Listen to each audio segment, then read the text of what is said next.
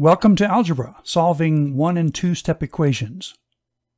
Solving equations is a fundamental skill in algebra, one you need to practice a lot. This lesson begins with one and two step equations showing the correct process for finding solutions. Take a moment to read through this information, and then we'll work through these examples together. Let's take a look at this equation, number 12. What is the solution to this equation? Well, the process for two-step equations is to always undo the addition or the subtraction first. So here we subtract 10 from both sides.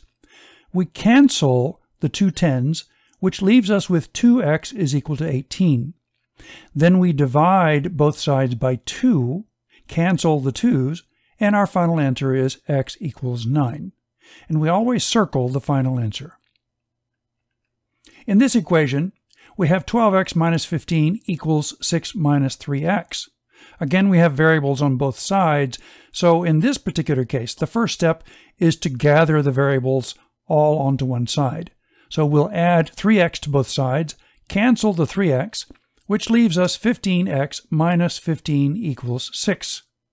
Now we undo the minus 15 by adding 15 to both sides, cancel the 15s, which leaves us 15x equals 21. Finally, we divide both sides by 15, cancel the 15, and then 21 divided by 15 is an improper fraction which can be reduced to 7 over 5. And it's okay to leave it improper this way. Solving one and two-step equations. Solving an equation is used to find the value of the variable. It is very important to use the correct process of undoing the operation in an equation using the inverse operation. The goal is to isolate the variable. To undo addition equations, the inverse operation is subtraction. We subtract the value from both sides. Solve the following equations, undoing addition by subtracting from both sides. In this first example, plus 5 is undone using the inverse operation of minus 5 from both sides. We cancel the minus 5 and plus 5, which leaves x equals 3. In the second one, we undo the 5 by subtracting 5 from both sides. We cancel the 5's, we get x equals negative 2. In this third one, we undo the plus 7 by subtracting 7 from both sides, cancel, and 4 is equal to x. Here we do subtract 8 from both sides, which leaves us negative 11 equal to x. When the variable is isolated by itself on one side of the equation, it doesn't matter which side, with its value on the other side, the equation has been solved. Always circle the final solution of an equation. Try these two equations yourself. The minus 15 needs to be undone using the inverse operation of addition. So we add 15 to both sides, cancel the two 15s, and we get x equals 45 as the solution. In the second equation, we add 3 to both sides, cancel the 3's, x is equal to negative 7. Try these two. Here we have 2x equals negative 12, the first time we've seen multiplication. To undo multiplication, we divide both sides by the value. So we divide by 2, divide by 2, we cancel the 2's, and then work out the negative 12 divided by 2, which is x equals negative 6, and we circle the solution. Now, the normal way to show division is not using the division sign, but using the division bar. So here we divide both sides by negative 5, cancel the negative 5's, leaving negative 4 equals x. Try these two. In solving division equations, we multiply both sides by the value. And the typical way to show this is using a number in parentheses, which means multiplication. So the inverse operation of dividing by 3 is multiplying both sides by 3. We cancel the 3's on the right side. On the left, we have 3 times 15, which is 45, which is the final value of x. In the second equation, Negative 4 is undone by multiplying by it. Multiplying both sides by negative 4, we get a is equal to negative 24. In these two equations, we have a fraction, as the coefficient? Well, there are two basic ways to do the fraction. We undo each part of the fraction separately, starting with the division, undoing by multiplying both sides by 3, which leaves us 2x equals 24, then divide both sides by 2, which gives us x equals 12. The other way that's a little quicker is to actually multiply by the reciprocal of the coefficient fraction. So here we multiply both sides by 3 over 2, cancel the fraction, and we get 8 times 3 over 2, which multiplies out to be x equals 12. Both approaches have the same result. The second way just does both steps in one action. Give these a try, using the two-step method on the first one and then the one-step method on the other three. In the first one, we multiply both sides by 4, which gives us 3x equals 24. Then we divide both sides by 3, which gives x equals 8. In the next equation, we multiply both sides by the reciprocal of negative 3 over 5, which is negative 5 over 3. It cancels on the left side, and then we multiply it out on the right to get x equals negative 15. In the third equation, we multiply both sides by 8 over 5, the reciprocal of 5 over 8, cancel on the left side, and on the right side we have 10 times 8 over 5. Now, the 10 over 5 can be reduced to 2 over 1, which makes working out the final solution a little bit easier. So we have 2 times 8, which is 16. In the final equation, we multiply both sides by 3 over 2. We cancel on the right, work it out on the left, and again, you have 3 times 8 over 2. The 8 and 2 can reduce to 4 and 1, and then we have 3 times 4, which is 12, the final answer. Two-step equations involve two steps. Use two inverse operations in the following order. Isolate the variable first by undoing addition or subtraction, then by undoing multiplication or division. So we have 2x plus 5 is equal to 15. We subtract 5 from both sides, leaving 2x equals 10. Then we divide both sides by 2, which gives us x equals 5. In the second equation, we undo the plus 6 by subtracting 6 from both sides, leaving 14 equals 2x. Then we divide both sides by 2x, and 14 divided by 2 is 7. In the third equation, we undo the plus 10 by subtracting 10 from both sides, leaving 5x equals 20. Then we divide both sides by 5, x is equal to 4.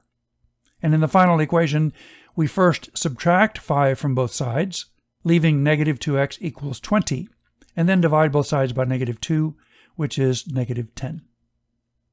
You try these four, then we'll work through them together. In the first equation, we subtract 5 from both sides, undoing the addition, which leaves x over 2 equals 3. And then we multiply both sides by 2, giving x equals 3 times 2, which is 6. In the second equation, we add 4 to both sides, leaving x over 3 equals 10. Then we multiply both sides by 3, giving us x equals 30. In the third equation, 2 thirds x minus 2 equals 6. We add 2 to both sides, giving us 2 thirds x equals 8. And then we multiply by the reciprocal, giving us 8 times 3 over 2, which is 12, as the final value of x. And in the fourth equation, we subtract 5 from both sides, giving us 3 is equal to x over 4. Then we multiply both sides by 4, giving us 12 as the final answer. Sometimes you will see two-step equations that look like this. These two examples contain division terms and look very similar, but are not. Look carefully and see the difference. In this first example, the division term has a two-part term on top and a single value on the bottom. When this occurs, division must be undone first, multiplying both sides by 3 then undo addition by subtracting 5 from both sides. In this second example, the division term only has one term each on the top and bottom, and so the plus 5 is undone first per the normal process, followed by undoing the division. You try these four. On this first one, we must multiply both sides by 5 since there's a two-part term on the top of the division bar. That gives us y minus 4 equals 35. Then we undo the minus 4 by adding 4 to both sides, giving us y equals 39. In the second equation, we multiply both sides by 4, giving us a plus 6 equals 44, then subtract 6 from both sides, a is equal to 38. In the third example, multiply both sides by 2, first of all. 2 times 20 is 40, which leaves us 40 equals x minus 3. Then we add 3 to both sides, x is equal to 43. And in the last one, this is not a division term where there are multiple parts on the top, so we can do the normal order, which is add 4 to both sides first, and then we have x over 4 equals 11. Then we multiply both sides by 4 to get 44 as the final answer. Try these four. Here we add 4 to both sides, giving us 2a equals 16, then divide both sides by 2, which is a equals 8. In the second one, we subtract 4 from both sides, giving us 12 is equal to 3x. Then we divide both sides by 3, 4 is equal to x. In this third example, we subtract 4 from both sides, giving us negative 24 equals 2x. Then we divide both sides by 2, giving us negative 12 as the final value of x. And in this last example, we add 5 to both sides, giving us 3x equals 18. Divide both sides by 3, x is equal to 6. You try these four. Here we have division and addition, so we undo the addition first by subtracting 7 from both sides, leaving y over 3 equals 6. Then we multiply both sides by 3, giving us y equals 18. Here we subtract 7 from both sides, leaving 5 is equal to r over 4, then multiply both sides by 4, giving us 20 as the final answer of r. In the third example, we subtract 5 from both sides, leaving 20 is equal to negative 10x. Divide both sides by negative 10, negative 2 is the final answer. And in the last equation, we multiply both sides by 3 first because of the two-part term above the division bar. That gives us x plus 6 is equal to 30. Then we subtract 6 from both sides. x is now equal to 24. A key skill to know that an answer is correct is to check your answer. Use the space below to check the answers to the four questions above. In this first equation, y is replaced by 18. 18 divided by 3 is 6, 6 plus 7 is 13, and that is indeed correct. In the second equation, r is replaced by 20. And so we have 12 equals 7 plus 20 over 4, which is 5. 7 plus 5 is indeed 12. That checks out. In the third equation, x is replaced by negative 2. Negative 10 times negative 2 is a positive 20. 20 plus 5 is indeed equal to 25. And in the last one, x is replaced by 24. 24 plus 6 is 30. 30 divided by 3 is indeed 10. So they check out. Try these four. In the first one, we add 5 to both sides, leaving us 2x equals 21. Then we divide by 2, and the answer is 21 over 2. Now, if an answer does not simplify to a whole number, it is acceptable to leave the answer as a reduced fraction. In the second example, we multiply by 5 first because of the two-part term above the division bar. That gives us 55 equals x plus 9, then we subtract 9 from both sides. x is equal to 46. In the third example, we subtract 5 from both sides, giving negative 16 equals 3x. Then we divide by 3, and here is another example of an improper fraction, which you can just leave just as it is, negative 16 over 3. In the fourth example, we subtract 9 from both sides, giving negative 3x equals negative 24. Then we divide both sides by negative 3, giving x is equal to positive 8. Try these. Here we subtract 20 from both sides, giving negative 60 is equal to 10x. We divide both sides by 10, and we get negative 6 as the final value of x. Here we add 11 to both sides. We have negative 2x is equal to negative 30. Divide both sides by negative 2. x is equal to positive 15. Here we subtract 25 from both sides, leaving 25 equals 10x.